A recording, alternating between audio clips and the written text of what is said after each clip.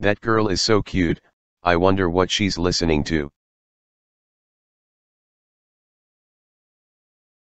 Papa doodle doodle, papa doodle doodle,